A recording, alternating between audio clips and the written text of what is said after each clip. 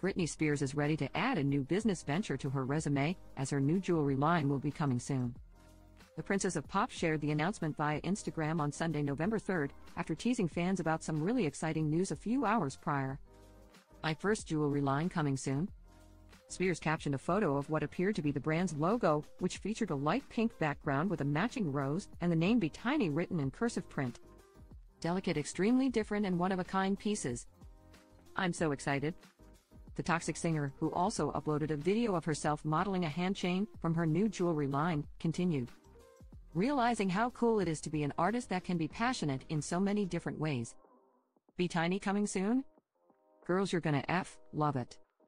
Fans, many of whom remain worried for Spears' well being following the termination of her 13 year abusive conservatorship in November 2021, had mixed reactions to the 42 year old's new venture, as some were extremely supportive and others doubted the brand's potential from posting about tiny things to creating a tiny jewelry line.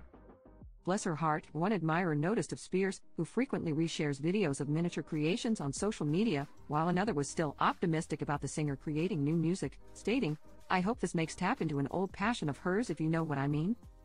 But all in time, all in time. I'll support whatever she does, the third person declared via X, formerly named Twitter.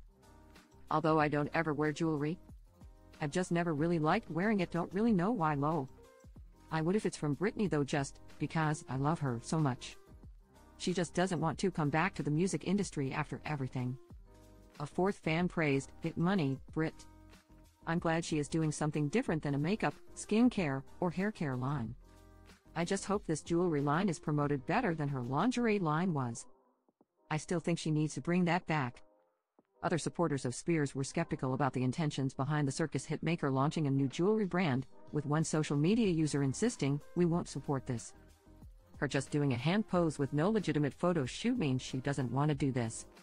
I would have liked Britney doing a photo shoot promoting the new jewelry line to make it official and not like this. I really hope this is real, but let's just wait and see. Only time will tell. Another doubtful fan expressed. Spears has yet to share when the jewelry line will drop, what the prices will look like, how many styles she will offer, etc.